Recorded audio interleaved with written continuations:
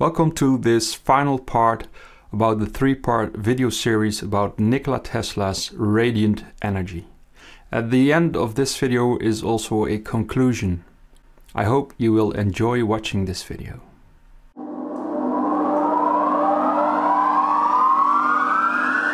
Page 42 to 43. He often exposed himself to the very shortest of ether pulse radiations, discovering the mind elevating effects grew with time. Mind elevating effects, man, it becomes magical with, with, with each page. Mind elevating effects. Well, I like to feel that. I like to feel these radiant energy mind elevating effects. I seriously do.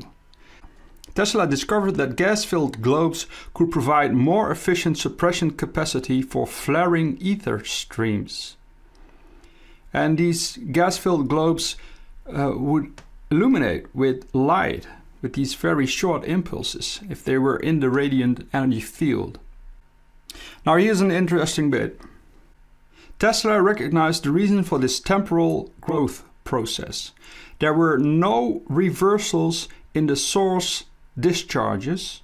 Therefore, the radiant energy would never remove the work performed on any space or material so exposed. So there was no change in polarity.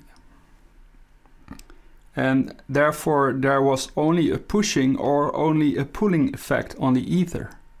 With alternating currents sinusoidal, uh, the pushing and pulling were equal and therefore the net energy was zero.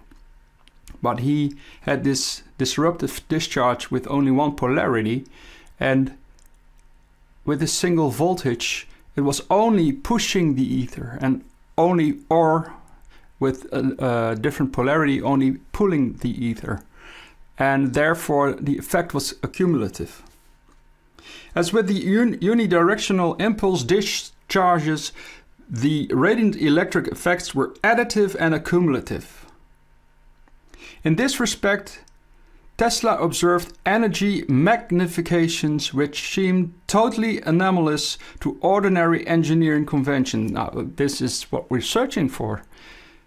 It's magnification of the effect. So it's building up and up and up and up. And there's also a cooling effect on page 45. It was also easy for Tesla to control the heat of any space. By controlling both the voltage and impulse duration of energy in his transformers, Tesla could heat up a room.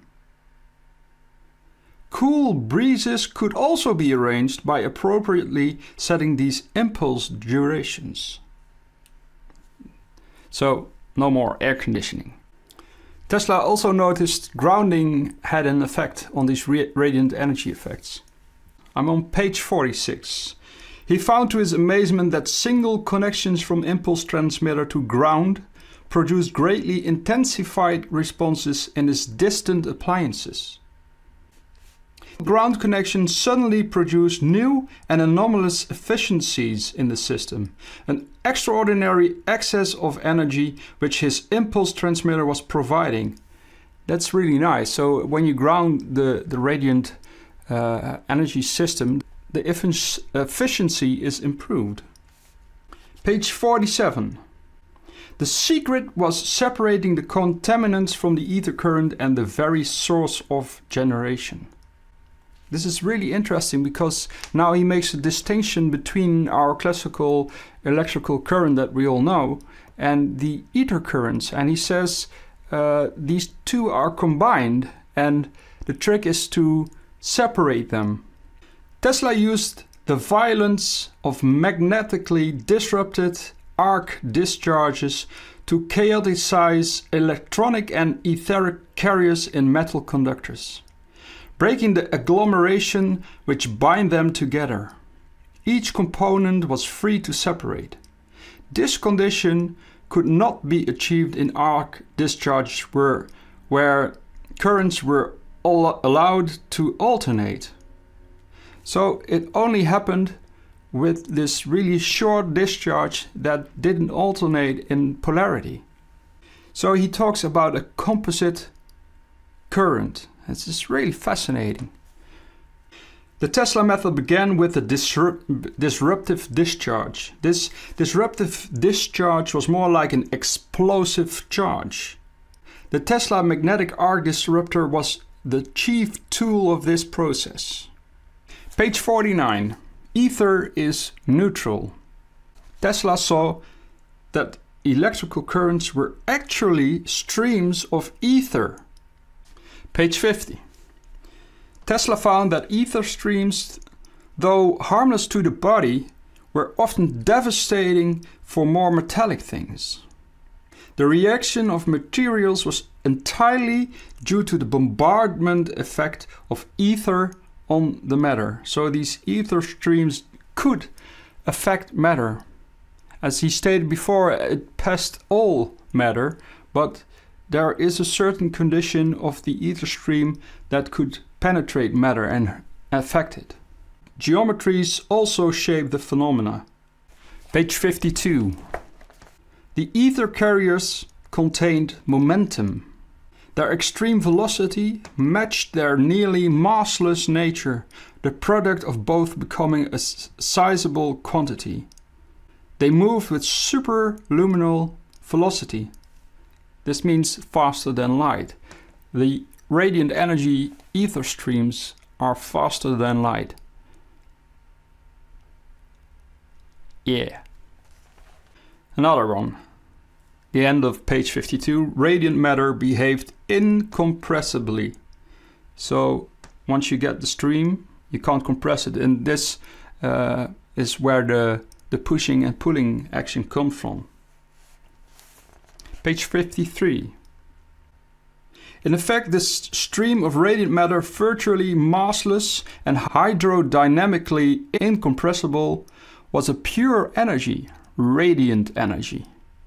In addition to this inherent momentum, ether streams would actually interact with matter only with the proper conductive materials were stressed with the proper impulse intervals.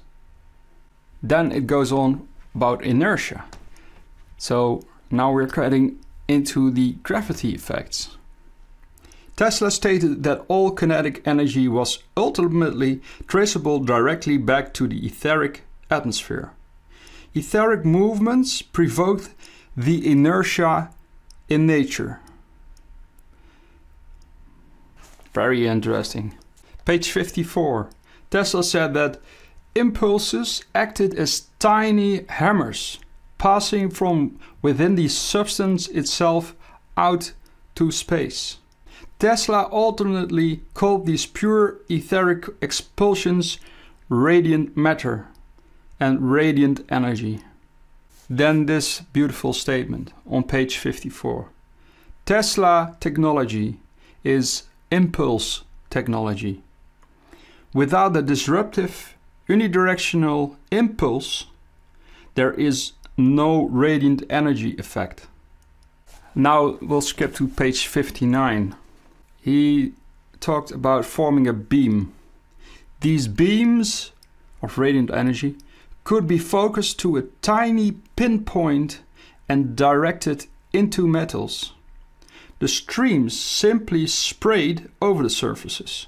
So a normal radiant energy stream would just go over a metal surface. When the impulse durations were carefully adjusted, the spray became a needle which easily pierced the plate. In this permeating stream of force, metals, metal plates simply melted.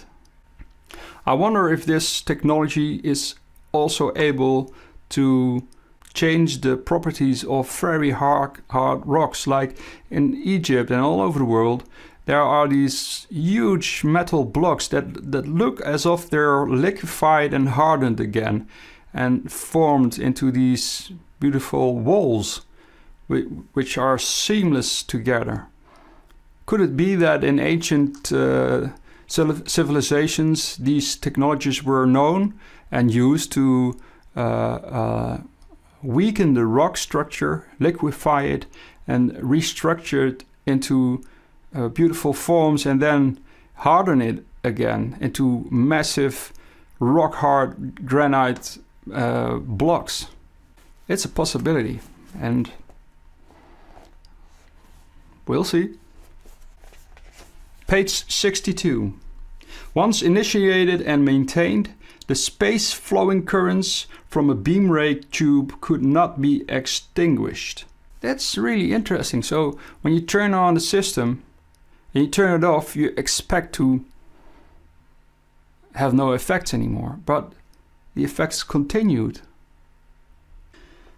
The ether currents from such devices for a time continued. Now about momentum. The momentum of ether currents was sufficient to maintain their continuous passage through any space for a time. An initiatory period was required to establish the current. Ether responds to pressure changes.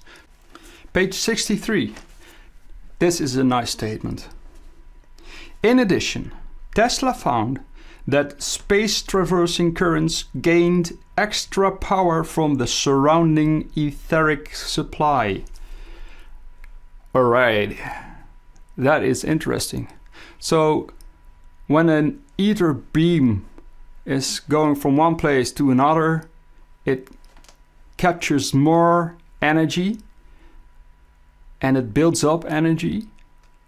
Ah, that's nice. This extra supply was pulled into the current channel, guided only by its own momentum. This was why ether power did not diminish as other energetic manifestations. Ether, possessed of momentum, did not suffer from frictional losses either. Ether beams remained rigidly fixed in their position, flowing on and on until the gradual diminution process finally brings them to a halt. Whoa, Th that's a big statement. And here, final quote on page 64. There's more in the book, but you have to read it yourself. One could stand exposed to an ether stream and never become ill. So here's an health effect again. Tesla found to his delight that ether streams of specific impulse were beneficial and exposed himself to these streams daily for periods of an hour or more as desired. Tesla inferred that ether particles passed through the body as if it were transparent. The only time they interacted was when the pulsations were such that the body began to pulsate in rhythmic successions with the incoming ether pulses. In his use of etheric streams, Tesla found a remarkable resultant elevation in both sensation and consciousness. Ideas seem to emerge and visions clarify during these exposures. Interactions of bio organic matter with ether pulsations became the source of vitalizing influences. Ether was neutral and did not ionize matter unless focused and delivered as a short duration impulse train. Whoa! Again, this is so magical because this is magic, man. Um, what he states here is that these effects have an effect on your bodily health and your state of mind, your clearness of thought. And that's really interesting. Now, the conclusion. Is it all true what Gerry Vassilatos told us in his book, Secrets of Cold War Technology? There's only one way to find out, and that's following his guidelines and experiment with it and that's what I intend to do with my bifilar coils. Here are my bifilar coils. They are equal in mass because I use the same length of wire. Now the plan is, the experiment, is to use one coil to disruptive discharge a capacitor through it. So this is going to be my primary. Then this echo coil is resonating at the same frequency around 1200 uh, kilohertz, but I can change that frequency. So if I've got discharges in this coil around, let's say 100 kilohertz, uh, then I should tune this coil to that frequency of 100 kilohertz. And um, when it's tuned properly, the pulses of radiant energy should bring this coil into resonance. And uh, that's what I'm intending to do. And we'll see what effects will rise and I will share it all with you. I hope to show you soon the results of these experiments. I hope you learned something and I hope it inspired you to read the book because there's so much more inside of the book of Gerry Vassilatos, Secrets of Cold War Technology, especially in chapter 1. Chapter 1 is full of information and I just tipped a few of the things out of the book because they were worth mentioning. If you find something out by experimenting, please let me know. I, I would love to hear. Uh, if you have suggestions on how to experiment, I would love to hear that as well. Uh, there's just one uh, experiment that's really famous for it, uh, and that's uh, Tesla's hairpin circuit or stout bar circuit. Thank you for watching. I hope you enjoyed. I hope you are inspired by this all feel free to donate uh, because this work is all open source. It is for the community, for us all to benefit from.